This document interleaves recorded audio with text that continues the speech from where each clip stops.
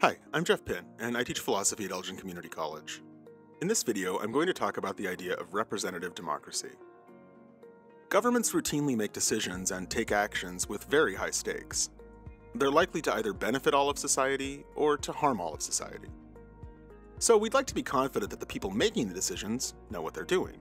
So then why let the people themselves make the decisions? Why should we have any confidence in the ability of ordinary citizens to make wise decisions affecting all of society?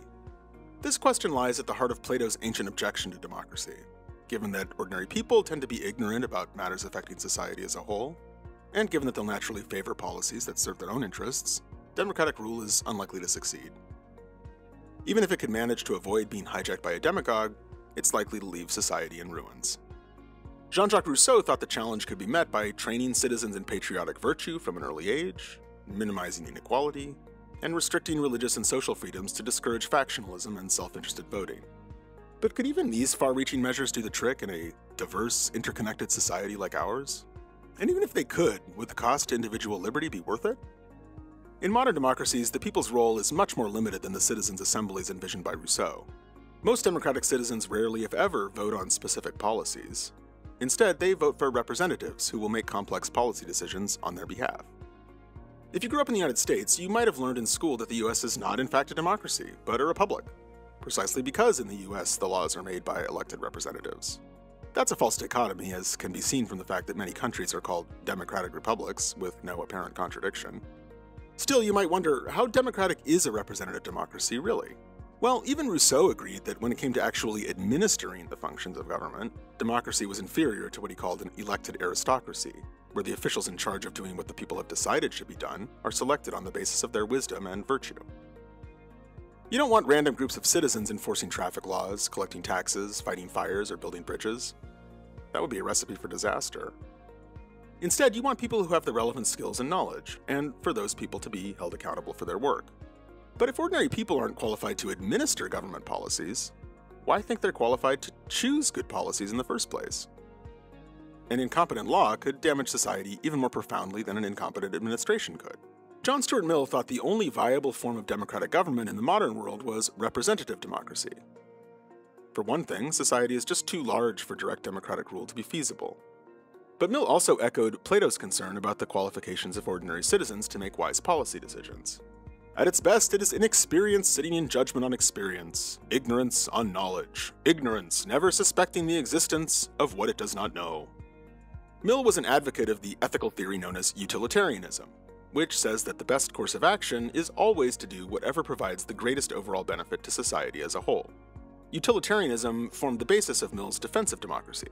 He thought democracy benefited society more than any alternative system could.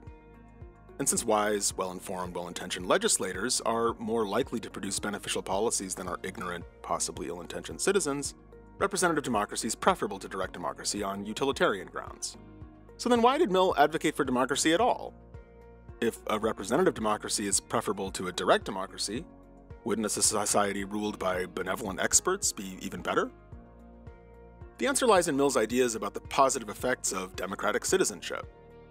He thought citizens in non democratic societies tended to become passive observers of life rather than active, independent people who take charge of their own lives. Not only does such passivity make people vulnerable to oppression, individual autonomy is one of the keys to living a happy life. Democratic societies support the development of autonomous individuals in very many ways. Moreover, Mill thought that the evidence was clear that democratic states produce greater overall benefits for society than do undemocratic ones. Contrast the free states of the world while their freedom lasted with the contemporary subjects of monarchical or oligarchical despotism. The Greek cities with the Persian satrapies. The Italian republics and the free towns of Flanders and Germany with the feudal monarchies of Europe. Their superior prosperity was too obvious ever to have been gainsaid, while their superiority in good government and social relations is proved by prosperity, and is manifest besides in every page in history. Mill's case for representative democracy ultimately rests on its real world benefits, rather than any abstract arguments concerning rights, liberty, or equality. But what if bad candidates win elections? Isn't a representative democracy just as vulnerable to hijacking by a demagogue as a direct democracy is? Incompetent or tyrannical representatives would almost certainly undermine the social benefits of democracy. How then can we ensure that elected representatives really do serve the public interest? Mill made a number of proposals. Some are familiar from contemporary discussions. He defended strict limitations on campaign spending to prevent vote buying, and he thought that elected representatives should be unpaid in order to discourage them from seeking office for personal gain. He also proposed some more controversial measures. First, he argued against the use of secret ballots. He thought open voting would discourage people from casting votes for their personal gain because of the public shame that would result. This, in turn, would lower the chances of unscrupulous candidates appealing to voters' selfish interests. Second, he thought that voting should be restricted on the basis of education and income.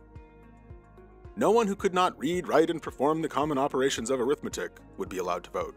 Neither would anyone receiving public assistance, since he who cannot by his labor suffice for his own support has no claim to the privilege of helping himself to the money of others. And third, he denied the principle of one person, one vote. Instead, he thought that people with particularly high levels of educational achievement should be given multiple votes. Plato's challenge to democracy remains a deep concern. How can we make sure that democratic citizens will choose laws in the best interests of society? Rousseau addressed the concern by introducing strict regulations on education, religion, and public morality, all at the apparent cost of individual liberty. Mill's representative democracy, instead, removes citizens one step from decision making and substantially restricts voting rights. Each approach departs from cherished democratic ideals. But maybe we just have to accept that the best form of government will always fall short of the ideal. Just as democratic decisions invariably require compromise, so might the philosophical defense of democracy. What do you think?